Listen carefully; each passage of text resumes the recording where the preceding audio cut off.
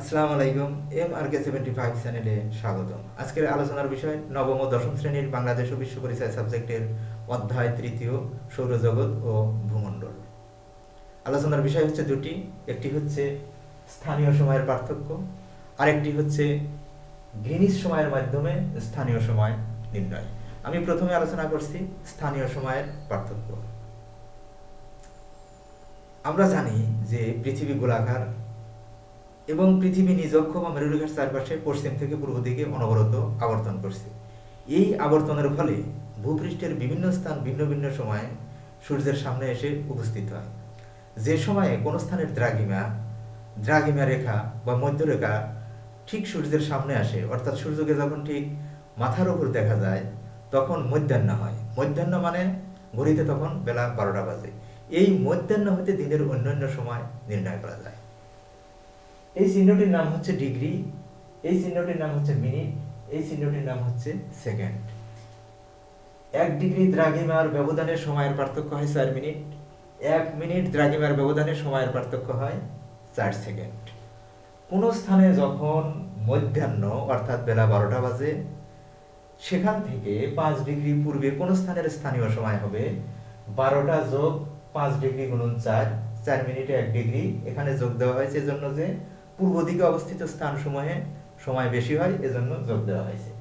বারোটা যোগ চার পাঁচা বিশ মিনিট, বারোটা বিশ মিনিট। আবার পাঁচ ডিগ্রি পশ্চিমে কোন স্থানের স্থানীয় সময় হবে? বারোটা বিয়োগ পাঁচ ডিগ্রি গুণন চার চার মিনিটে এক ডিগ্রি। এখানে বিয়োগ দেওয়া হয়েছে, এজন্য যে পশ্চিমে অবস্থিত স্থান সময়ে সময় কম হয়, এজন্য বিয়োগ দেওয়া হয়েছে। বারোটা বিয়োগ চার পাঁচা কুড়ি মিনিট। বারোটার ভিতর থেকে বিশ মিনিট বাদ দিলে এগারোটা চল্লিশ মিনিট। তাহলে দেখা যাচ্ছে যে কোন স্থানে যখন মধ্যাহ্ন, অর্থাৎ বেলা বারোটা বাজে, পাঁচ ডিগ্রি পূর্বে কোন স্থানের স্থানীয় সময় হবে? বেলা বারোটা বিশ মিনিট এবং পাঁচ ডিগ্রি পশ্চিমে কোন স্থানের স্থানীয় সময় হবে?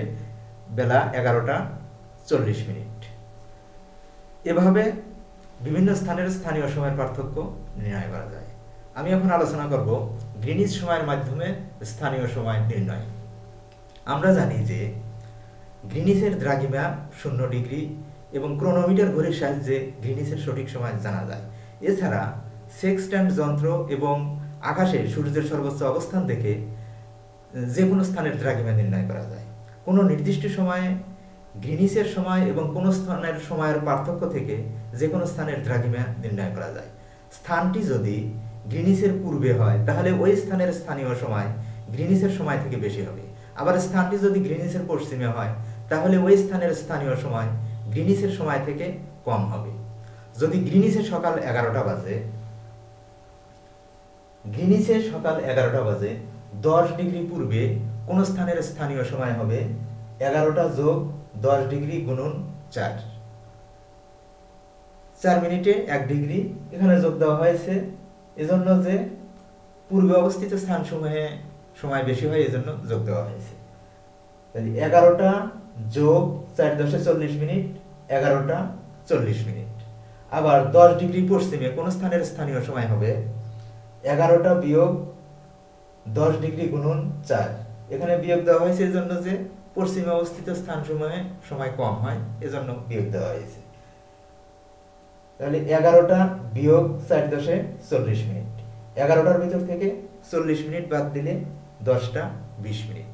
এভাবে দেখা যাচ্ছে যে গ্রিনিসে যখন সকাল এগারোটা, দশ ডিগ্রি পূর্বে কোনো স্থানের স্থানীয় সময় হবে এগারোটা চল্লিশ মিনিট, আবার দশ ডিগ্রি পশ্চিমে কোনো স্থানের স্থানীয় সময় হবে দশটা বিশ মিনিট।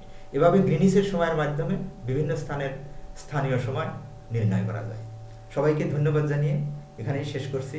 খোদা হাফেজ।